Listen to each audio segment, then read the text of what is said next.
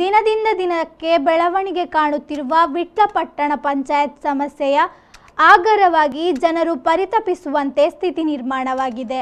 ಆದರೆ ಈ ಭಾಗದ ಶಾಸಕರು ಮಾತ್ರ ಪಟ್ಟಣ ಪಂಚಾಯತ್ನಲ್ಲಿ ಸಭೆ ನಡೆಸಿ ಕೇವಲ ಸಲಹೆ ಸೂಚನೆಗಳನ್ನು ಕೊಟ್ಟು ಹೋಗುವ ಮೂಲಕ ಜನರ ಆಕಾಂಕ್ಷೆಗಳಿಗೆ ತಣ್ಣೀರೆರಿಯುವ ಕೆಲಸ ಮಾಡುತ್ತಿದ್ದಾರೆ.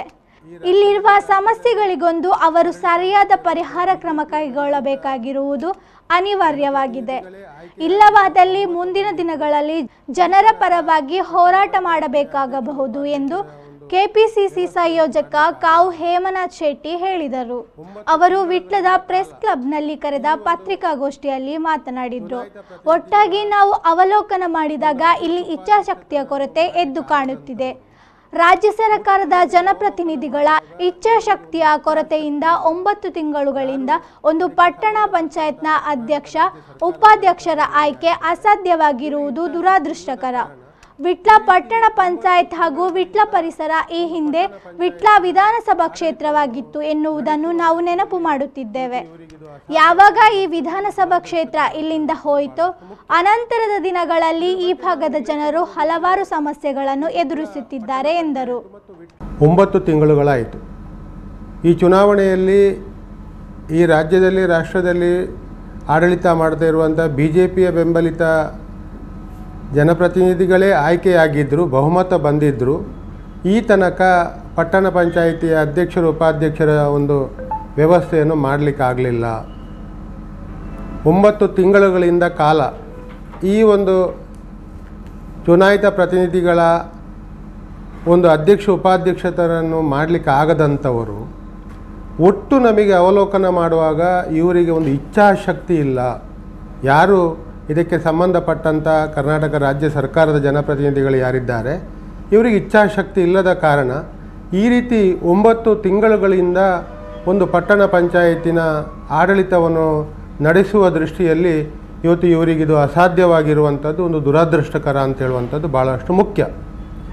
ಇದರ ಬಗ್ಗೆ ನಾನು ಉಲ್ಲೇಖ ಮಾಡೋದಿದ್ದರೆ ಈ ವಿಟ್ಲ ಪಟ್ಟಣ ಪಂಚಾಯಿತು ಮತ್ತು ವಿಟ್ಲ ಪರಿಸರ ಈ ಮೊದಲು ಇದೊಂದು ವಿಧಾನಸಭಾ ಕ್ಷೇತ್ರವಾಗಿದ್ದದ್ದು ನಾನು ನೆನಪು ಮಾಡ್ತಾ ಇದ್ದೇನೆ.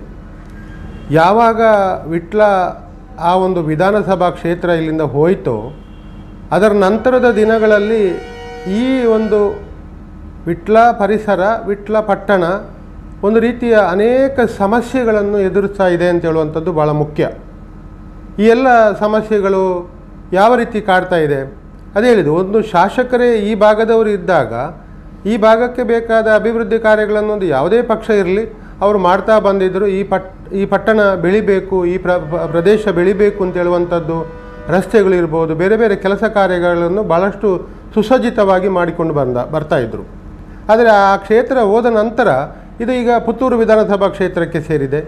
ಇದು ಪುತ್ತೂರು ವಿಧಾನಸಭಾ ಕ್ಷೇತ್ರದಲ್ಲಿ ಸೇರಿದ ನಂತರದ ದಿನಗಳಲ್ಲಿ ಹೆಚ್ಚು ಅಭಿವೃದ್ಧಿಯನ್ನು ಮಾಡಲಿಕ್ಕೆ ಆಗಲಿಲ್ಲ ಅಂತ ಹೇಳುವಂಥದ್ದು ಬಹಳಷ್ಟು ಪ್ರಮುಖವಾದ ವಿಚಾರ. ಇದರ ಬಗ್ಗೆ ನಾನು ಇವತ್ತು ಗಂಭೀರವಾಗಿ ಪರಿಗಣಿಸುವಂಥ ವಿಚಾರಕ್ಕೆ ಕೈ ಹಾಕೋದಿದ್ದರೆ ಬಹಳಷ್ಟು ಮಂದಿ ಈ ಭಾಗದಲ್ಲಿ ನನ್ನ ಸಂಪರ್ಕದಲ್ಲಿ, ನಮ್ಮ ಪಕ್ಷದ ಸಂಪರ್ಕದಲ್ಲಿರುವಂಥವರು ಮತ್ತು ಭಾಳಷ್ಟು ಜನ ನಮ್ಮ ಸ್ನೇಹಿತರು ಇರು ಇರುವಂಥ ಈ ಪ್ರದೇಶದಲ್ಲಿ ನಮ್ಮಲ್ಲಿ ತುಂಬ ಸಮಸ್ಯೆಗಳ ಬಗ್ಗೆ ಚರ್ಚೆ ಮಾಡ್ತಾರೆ. ಒಂದನೇದಾಗಿ ಇವತ್ತು ಪಟ್ಟಣ ಪಂಚಾಯತಿನ ಸಮಸ್ಯೆಗಳು. ಇವತ್ತು ಅಧ್ಯಕ್ಷ ಉಪಾಧ್ಯಕ್ಷರು ಆಗಲಿಲ್ಲ ಅದರ ನಂತರ ಈ ಒಂದು ಪಟ್ಟಣ ಪಂಚಾಯತಿನಲ್ಲಿ ಸಾವಿರ ಸಮಸ್ಯೆಗಳು. ಯಾವುದಕ್ಕೂ ಒಂದು ಪರಿಹಾರವನ್ನು ಕಾಣಲಿಕ್ಕೆ ಇಲ್ಲಿ ಬೇಕಾದಂಥ ಅಧಿಕಾರಿ ವರ್ಗದವರು ಸಮರ್ಪಕವಾಗಿ ಇಲ್ಲ ಅಂತ ಹೇಳುವಂಥದ್ದು ಒಂದನೇ ಪ್ರಶ್ನೆ. ಪುತ್ತೂರು ನಗರಸಭಾ ಮಾಜಿ ಸದಸ್ಯ ಅನ್ವರ್ ಖಾಸಿಂ, ಎನ್ಎಸ್ಯುಐ ರಾಜ್ಯ ಕಾರ್ಯದರ್ಶಿ ಫಾರೂಕ್ ಬಾಯಾಬೆ, ಅಶೋಕ್ ಶೆಟ್ಟಿ, ಇಬ್ರಾಹಿಂ ಮೊದಲಾದವರು ಉಪಸ್ಥಿತರಿದ್ದರು.